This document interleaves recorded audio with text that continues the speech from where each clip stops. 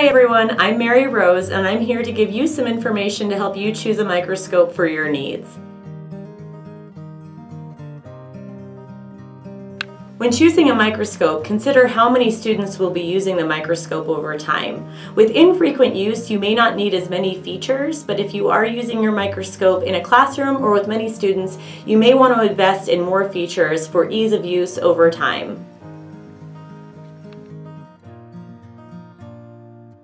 The next thing to consider when choosing a microscope is what you'll be looking at when you're using the microscope. There are two types of microscopes, stereo and compound. A stereo microscope is used to see things that we can see with our naked eye. Examples like rocks, gemstones, insects, coins, and plants are things that you can view through a stereo microscope. A compound microscope is used to view things that we cannot see with the naked eye, such as dust mites, bacteria, mold, and shrimp eggs.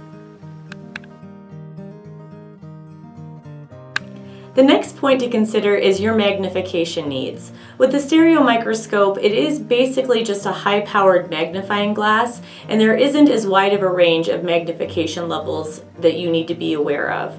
But with a compound microscope, you do want to be aware of some differences between various models of microscopes.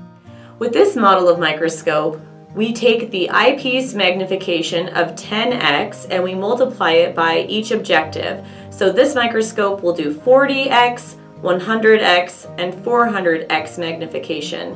400x magnification is the minimum necessary for high school level biology. For even more magnification, Home Science Tools offers our Home 1000X LED microscope. Finally, you will want to consider whether you need a monocular or binocular microscope. A monocular microscope has one eyepiece and is great in a classroom where multiple students will be looking through the microscope one after the other. This does not require any adjustment of the eyepiece for each individual student. A binocular microscope has two eyepieces which allow for personal adjustment to the distance between one individual's eyes.